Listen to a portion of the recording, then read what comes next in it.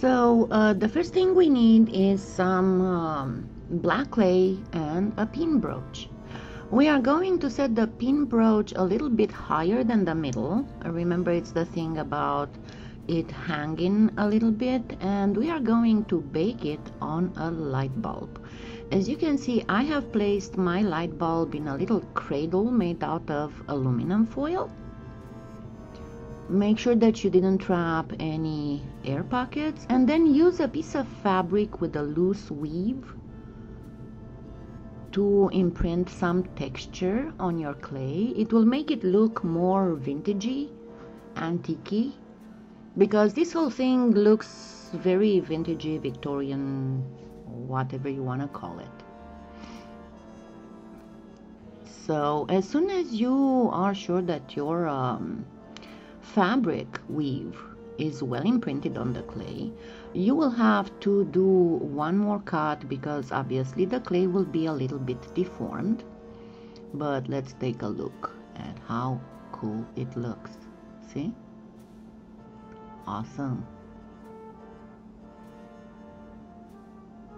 So remember the clay is on the thickest setting. So let's do one more cut to have that edge nice and the base round and then we pre-bake it for 15 minutes. After pre-baking we want to uh, sand a little bit those sharp edges and I'm using a 400 grit. Yeah, I didn't bring the water here because it's not a lot of dust but uh, generally speaking don't do that dry. Do it only with water.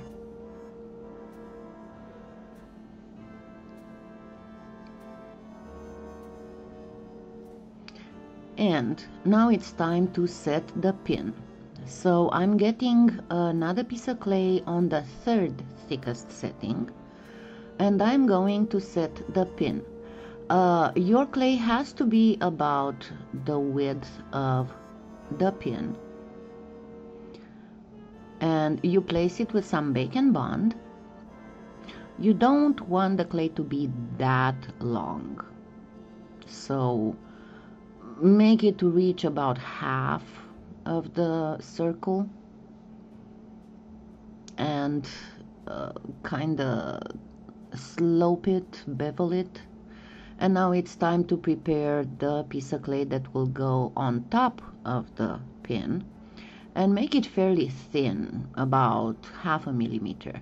Then press the pin in until you can see the clay coming out through those tiny holes because that will be one more point of safety security because the top clay will adhere including uh, those tiny dots and make the top piece uh, narrow enough so it will not go all the way to the ends of the pin. And now flatten everything nicely. Make it flush with the end on top. And it's easy to do a nice flush in because you know raw clay on baked clay will always cut itself whenever you roll something over it. And then on the inside I am going to bevel it as much as I can.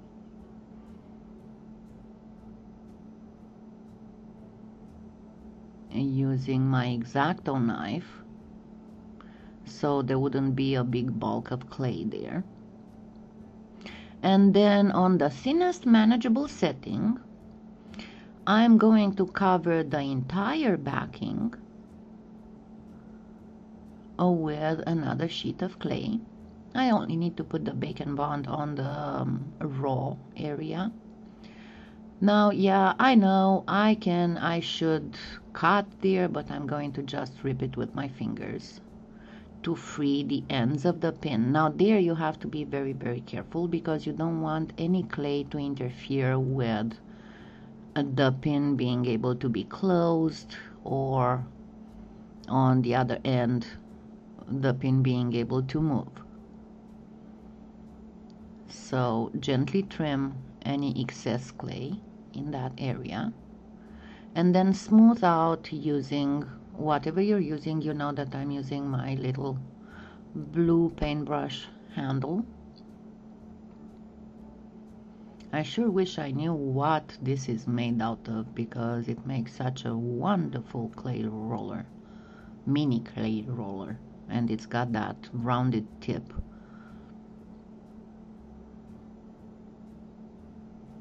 And don't forget to arrange it nicely around the ends of the brooch pin. And it's still a tad thick in that area but it will be just fine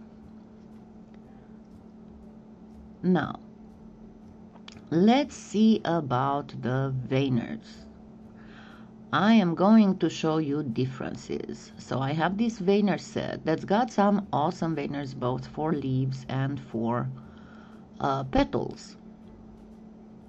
So I'm choosing a leaf that would be good to put three of them on my little brooch base. And then I chose a veiner that's supposed to be not a rose, but some other flower. And I will show you the differences. And we will also try a push mold uh, Makin's push mold. So let's see how the leaf veiner looks like. Looks awesome. Let's go for the petal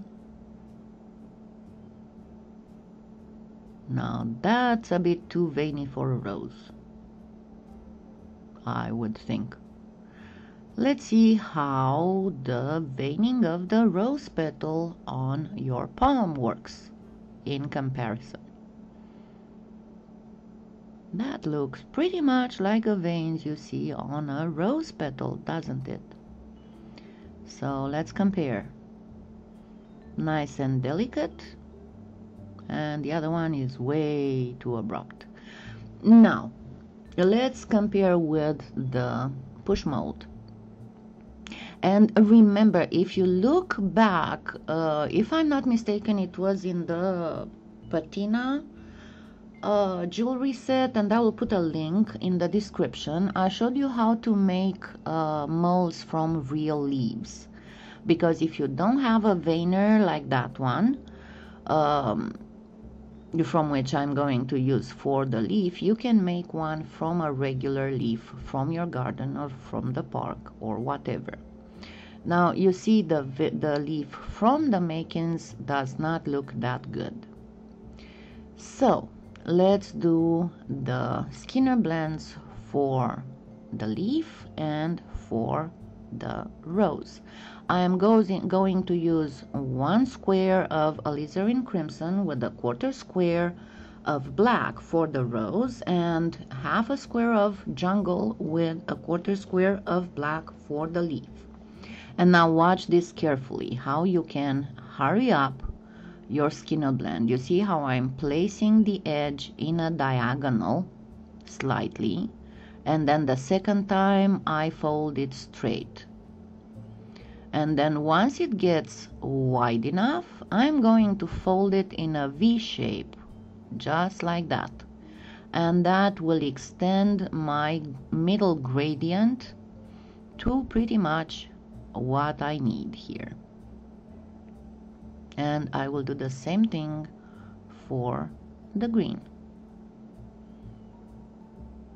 See? Slightly in a diagonal then straight then again in a slight diagonal then straight until it gets long enough to do it in a V shape. And then I keep going until it gets long. And then I'll simply uh, fold it in two and then get it through the pasta machine again but this time in length. Make sure you don't trap any air bubbles and go in length not in width to obtain long strips now I'm going to make and I didn't uh, show that so the video wouldn't get too long but I made a fan fold rounded log and a jelly roll with the black in the middle for the leaf. I'm going to place some aged brass on the base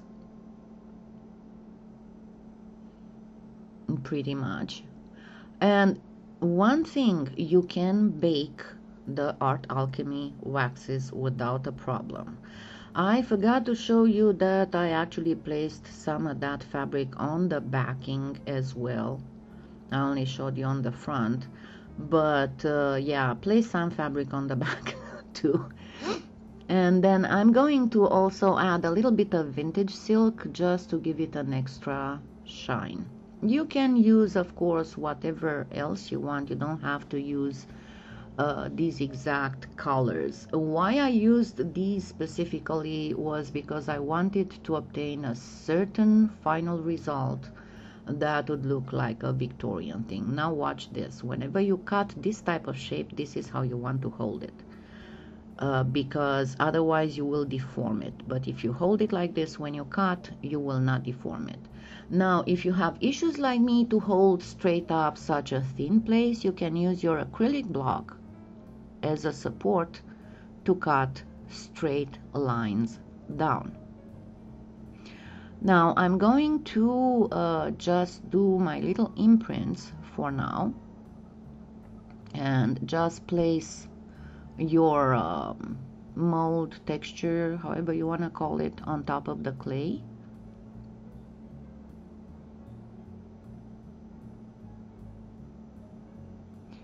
And press then remove it from the texture and put it aside. And we shall work on this here in a minute.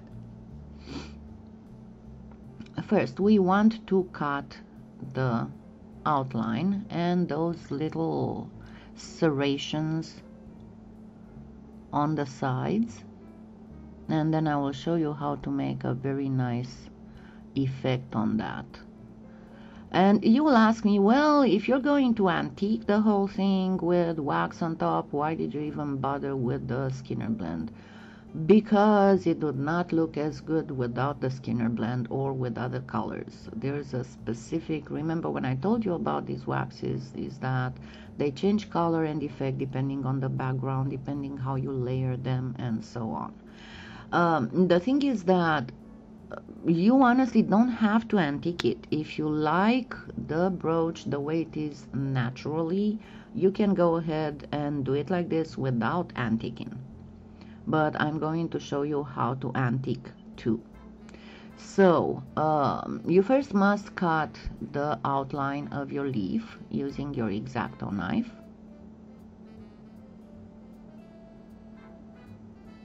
And if you see, I cut it a little bit different on each leaf. There are some more veins inside that sometimes I cut all the way in, so not every leaf would look the same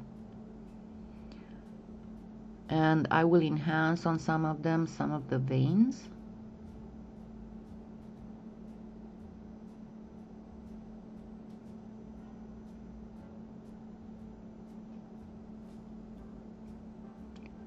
Now let's work those leaves a little bit more. So I'm going to put them on the wax but before starting to work on them um, we must first cut some rose petals. You see, I got rid of the very thin tip. I have no idea why I thinned it out so much. But you need a little bit of a cone shaped in your log because the petals that are more in the middle are smaller than the ones on the edges. Now, using your bowl stylus, and gently flatten the edges on your leaves. Oh yeah all those little serrated parts that you took so much trouble to cut out believe me if you wouldn't have cut them out the way you did they wouldn't look as good in the final stage as they do we are not trying to perfectly imitate nature here because it is a piece of jewelry that's supposed to look vintagey, Victorian, metallic however you want to call it. I am going to uh, once again reinforce some of the veining because with the ball stylus I kind of smashed it out. But it can be easily fixed.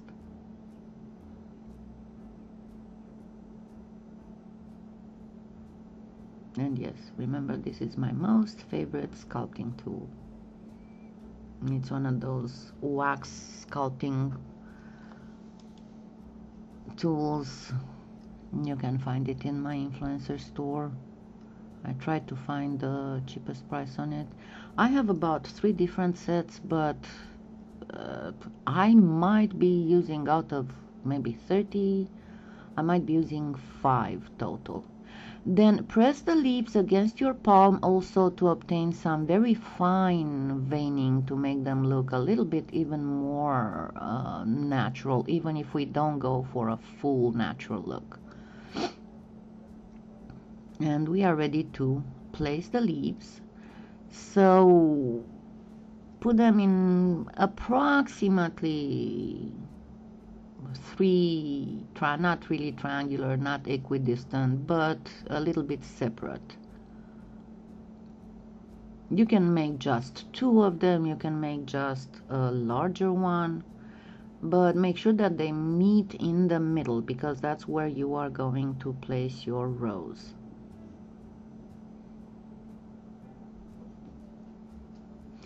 And you can try and do this in just one bake. I prefer to do several bakes pre-bakes mostly because I want to have things stay as they should and I wouldn't mess them up. Then I'm going to press gently on the very middle and let it sit for about 10 minutes because remember it uh, the Bake and Bond thickens and you will have no slippage and then I'm going to take and you can entirely skip this uh, thing. I'm going to take some artisan powders and I'm put, putting a little bit of um, amber in the middle and a little bit of French sage towards the uh, edges just to enhance the look of uh, real rose leaves and that will be under the wax because I will be using uh, mostly transparent wax on these.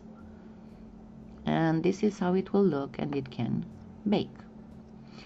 Um, once it's baked I am placing a little bit of uh, green brocade of the opal magic. Uh, you don't have to worry about the very middle because that's going to be covered by the rose so I'm placing the green brocade on the tip and the edges of the leaves.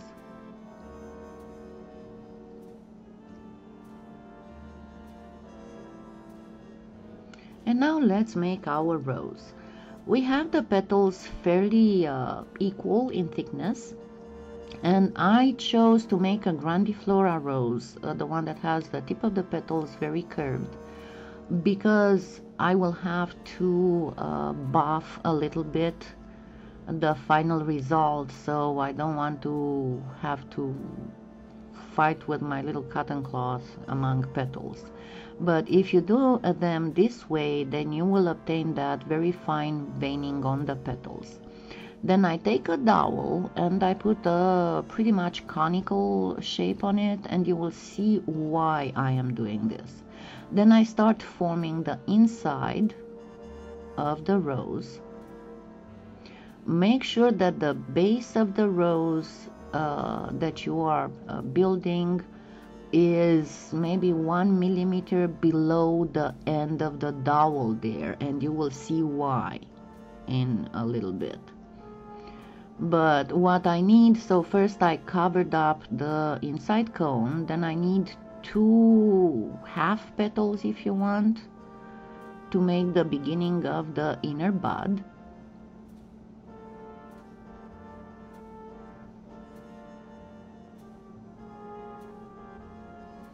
and make them a little bit at least in one point, wrap around each other.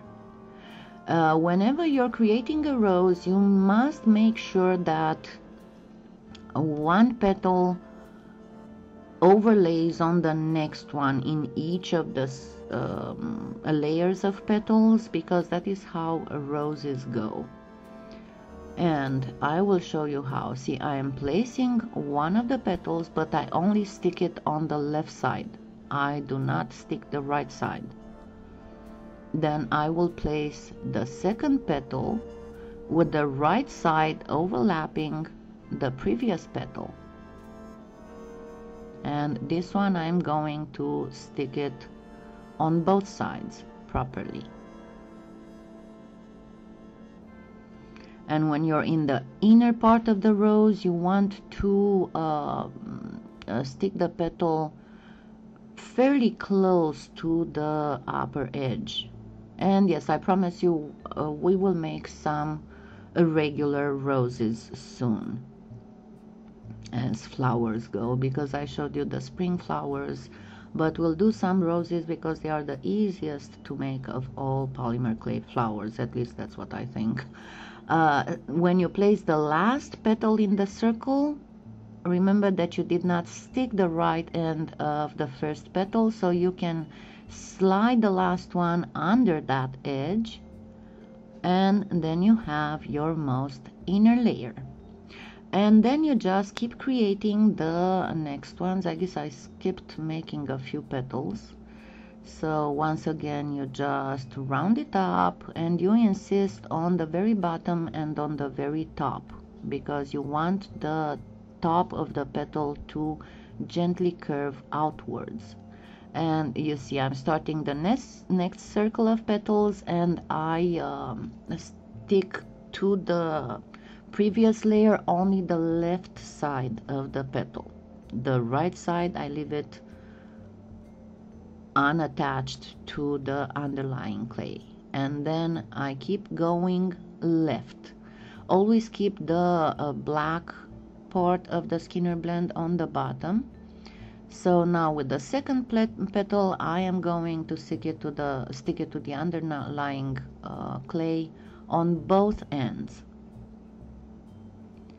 and I will just let you watch how I am finishing the rows and then I will start commenting more when it's almost done.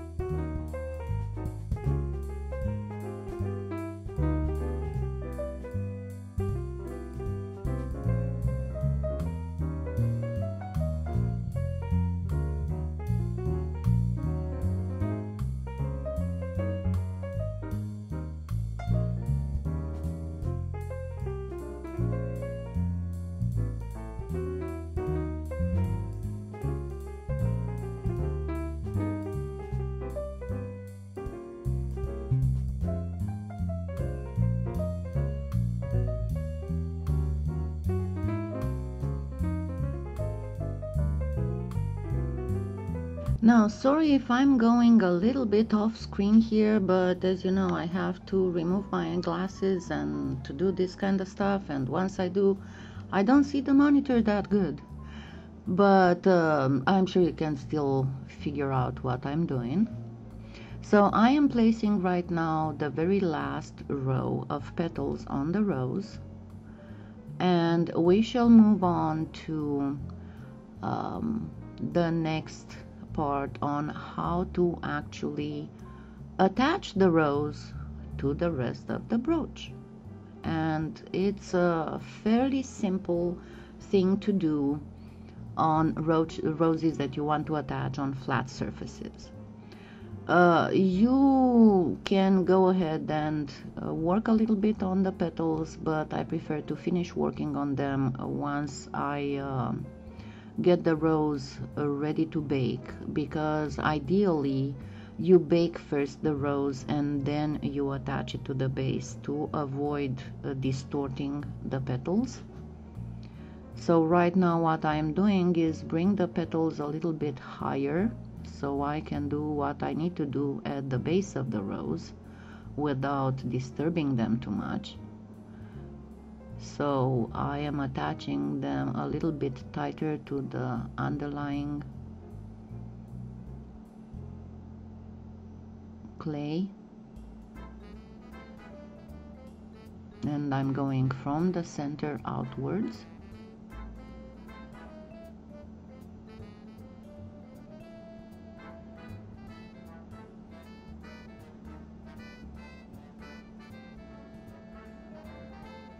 and as I said you can leave the rose as is. You don't have to antique it. And you can use other colors if you want. I used the alizarin crimson because it gives a beautiful background for the rose gold wax to achieve the effect I wanted. And now take your uh, rigid blade and cut pretty much around the top of the dowel. I didn't do a perfect cut, but that is easily fixable with my thin blade. So see how I have a little bit of a hole right there in the middle.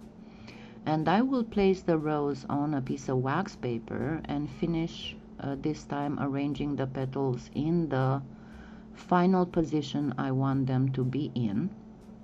And then pre-bake the rose for 20 minutes.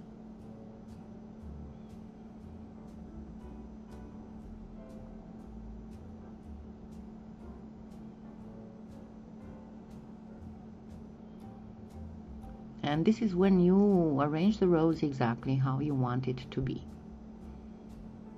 Because the way you will bake it that is how it will stay. Now the, my rose is baked and you can see it's fairly sturdy. So I'm going to make a kind of plug if you want with a a smaller plug in the middle that would go in that little hole that's at the base of the rose and place some Bake and Bond there. And my Bake and Bond is almost empty. I'll have to start another bottle. Uh, so place some bacon Bond there and smear it over all the cut end and then make your plug. Don't leave the the smaller plug area too tall because you don't want it to be that tall. So cut it to about the size that will go in the hole at the base of the rose. And then place it in and press it in. Trim any excess until you get about to have about half a millimeter left on that base and trim the excess all around. You'll do a final excess trimming after the rose is attached. And now place some more Bake and Bond on the very base of it and place it on the base of the brooch. You can gently press on the rose because it's baked and it's relatively sturdy so it will not uh, get deformed. And now you do the fine trimming of excess clay. I'm trying to get it on camera as much as I can because it's kind of like an under thing. And then we'll make those little uh, fall leaves that surround the um, rose that were covering the bud when the rose was in a bud and for that I am going to flatten some of my uh, green clay remnants and then cut some long leaf shapes. And I will show you how to actually shape them. You need five of them and they are very easy to shape. You just take your needle tool and do that on both edges. And then take the ball stylus and kind of flatten it against your palm. Then you turn it around and you use your ball stylus again. And then you turn it around one more time because the part that will be up will be the part where you did not do the the needle thing and then you place it under the rose. Make sure it's not too long. If it is too long you can uh, rip off the end and then place it by securing it from underneath not on top. When you place it you place your uh, ball stylus under it and that's where you secure it to the part of raw clay that surrounds the base of the rose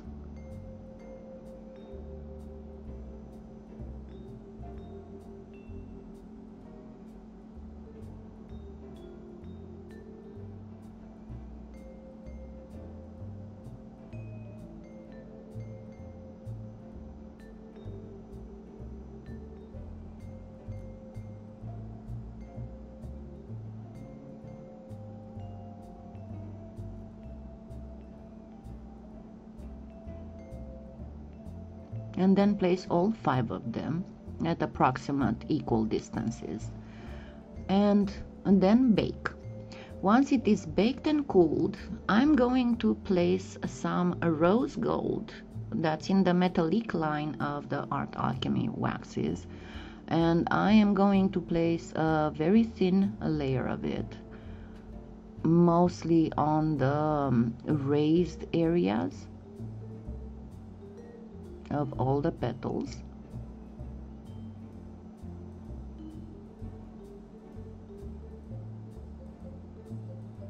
And then I will top that off with vintage silk.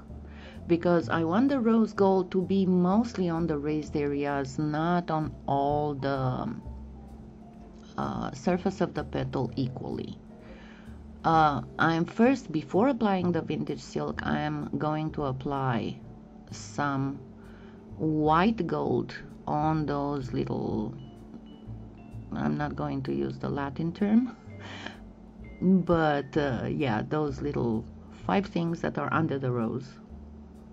I have one of those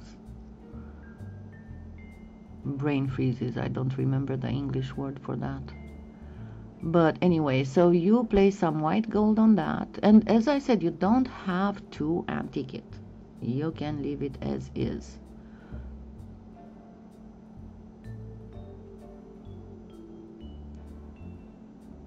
So white gold those things and now you can apply because in the meantime uh, the white gold half hardened. So now apply some vintage silk remember this is opal magic so it is half transparent.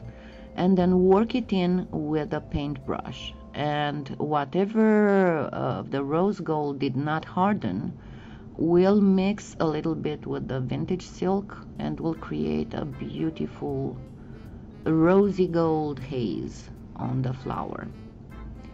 And then I will get a little bit more white gold and apply it on the most most most raised areas of the leaves not all over.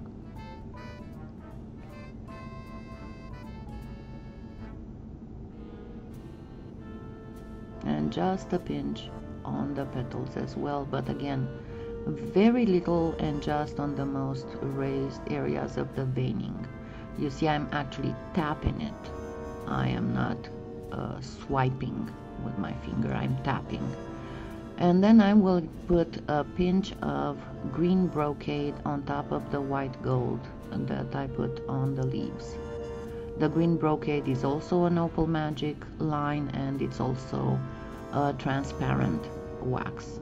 And then all you have to do is to wait for it to harden. And then it's almost done let's get the cotton cloth and gently buff it. And now you see why I wanted these specific rounded petals because it's much easier to buff a grandiflora rose than a regular rose. So buff it until you get that nice shiny metal look and do a gentle buffing on the um, leaves as well. You can do it just with a lot of attention. It doesn't need a lot of buffing actually. Just a few swipes with a cotton cloth will bring up the shine of the wax. And you can put some wax on the back of the leaves if you don't like the way they look when you turn the brooch upside down but uh, it's not absolutely necessary because the way the brooch is made with the pin where it is it will not uh, bow and get separated from the blouse. But pretty much uh, this is it and it's your delicate rose gold rose brooch. Happy clean